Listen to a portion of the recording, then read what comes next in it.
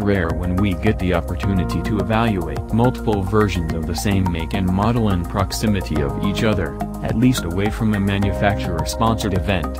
So, when we got the chance to test the 2019 Genesis G70 in back-to-back weeks in different guises, senior editor Alex Kierstein and contributing editor James Riswick happily accepted the chance to compare, contrast and make the same sort of observations actual car buyers might make when trying to decide between one variation and another.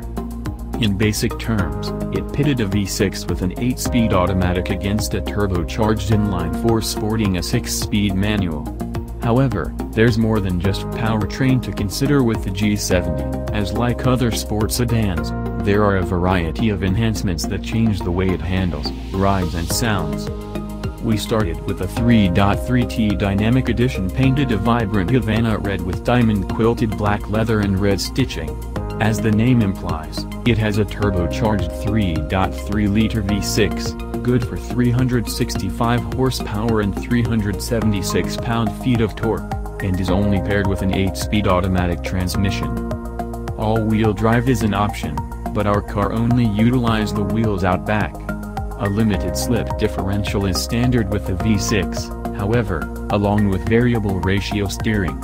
The standard sport-tuned suspension also gets upgraded to electronically controlled adaptive dampers in the sport trim level. The only difference between that trim and the Dynamic Edition, limited to 400 units, is further upgraded Brembo brakes and Michelin Pilot Sport tires.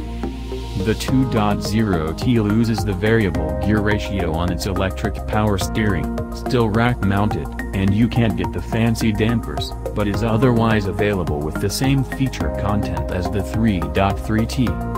Well, unless you opt for the 6-speed manual transmission fitted to our test car and only available with the 2.0-liter turbocharged 4-cylinder that produces 252 horsepower and 260 pounds-to-foot of torque whereas the 8-speed automatic can be paired to all-wheel drive and various trim levels, dub packages by Genesis in a matter of semantics, the manual is rear drive only and available with a single package, trim level that basically adds a few choice extras to a standard car, such as 19-inch wheels, Brembo brakes, limited slip, LED headlights, heated, ventilated seats and the superb Lexicon stereo. It's also leatherette or nothing with the manual. No leather, no fancy diamond quilting.